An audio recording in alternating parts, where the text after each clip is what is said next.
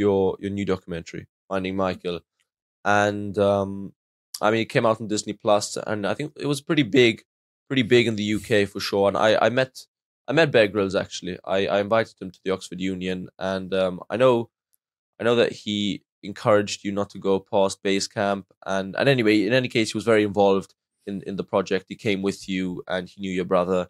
And I was just wondering what, what that experience was like meeting Bear and, and being there also with um, Nims Purja and, and yeah, well, what it's like working with legendary figures like that. I mean, I'll, I'll always look back at making that film as you know one of the most special. Um, well, I was about to say projects, but times in in my life. Sure. You know, just like the the experience of, um, well, working with them was was incredible. I've always had a huge amount of respect for Bear. Bear Bear is um, he honestly is a really a wonderful guy. man. He's a great guy. Yeah. Um, always been very kind to me. If you've seen the film, you'll you'll know when we first met. I was a kid at Eton, and he came to talk, mm. and he referred to himself as being the uh, youngest pr- Brit to summit Mount Everest. He used the word summit, which, mm. if you're being a pedantic asshole, which I was, uh, it's not that that wasn't strictly true. My brother was the youngest Brit to summit Mount Everest. He was the youngest Brit to climb it. So I did you correct him? I did correct him. Yeah, yeah, okay. yeah. I, I, I put my hand up and said, "Hey, um, have you heard of Michael Matthews?" And he was like, "Yeah." And I was like, wasn't Michael Matthews the youngest to summit? Like, but you know, and he was like, well, yeah, technically he would have been. And I was like, oh, I'm his brother. And, um, and he, he like he was so kind and i felt like a bit of a dick straight away basically because he was just like he he he he like apologized and stuff which he of course he didn't need to do and i felt like oh god i wish i hadn't kind of done this now and he gave me a big hug and he was just like your brother was an absolute legend and that record will always be his and i was just like again i felt like uh, god I, I, kind of almost wish i hadn't done this now but he uh, he was very very kind to me afterwards and always kind of treated me like a little bro after that. Um, and obviously at the time, I didn't realize that I would be working in entertainment or TV or whatever. But when I when I did, I started bumping into him at the occasional thing, and he was always just awesome to me. And uh, an amazing producer called Tom Hutch and I um, kind of molded the idea together because we'd worked on Hunted, did a television show called Hunted, which was was quite good fun. You're basically trying to avoid um, the special forces for two weeks. Um, it's great fun actually. It's, it's a cool show. And, uh, and, and, and, and Bear knows Tom as well. So anyway, Tom came around we had a coffee and Tom was like, have you ever thought about, um, anything to do with Everest? And we were talking about Mike and how he was lost on the mountain and, and the fact that there had been some body recoveries now because, um, helicopters can now fly into Camp 2, which is something they weren't able to do before. You wouldn't want to be carrying a body through the Khumbu Icefall. Um, that's that's a almost certain uh, death wish for for those involved. Far too dangerous. Um, so being able to chop the bodies out was a was a, a big development because you can bring the bodies down to Camp Three, Camp Two, and helicopter them out.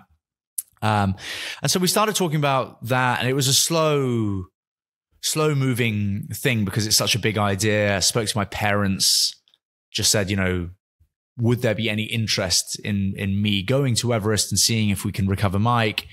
And um, in theory, it sounded great. Then, of course, there's the potential loss of life uh, to recover a body, and um, but by all accounts, you know, risking human life to recover a body is obviously not something that's worthwhile.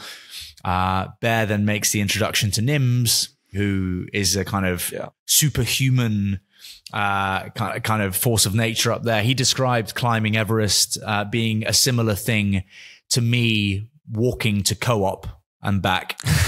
Um, which I found marginally offensive, given that I've done the Marathon des Sables and the Jungle Ultra and other bits and bobs that probably make me fitter than your average person. Um, but uh, but he, he, he basically he basically was like, um, you know, I, I can yo-yo up and down this thing no worries. Like you, you, you don't have to be concerned for us. And I was like, well, look, the family is always going to be concerned for, for, you know, cause there's natural disasters and all kinds of stuff. And he just said, look, we're going to be climbing the mountain several times anyway, whether you, you know, want to do this or not. We'd be very happy to do it. These guys, there are people in my team that have summited Everest over 20 times. It's their backyard. They, they get it. Like it's, it, it, it doesn't feel a risky thing to them. And like with all of that, we, we decided to, to progress. Went to Everest. Um, I was at base camp for, for like five weeks, uh, which is, it's a really long time to be at base camp. So basically, Everest Base Camp is is just shy of the height of Kilimanjaro. It's like five thousand, isn't it? Or right? Yeah, it's five. Is it is it five three something? I should know this obviously, but it's a while. Hang on, let's have a look.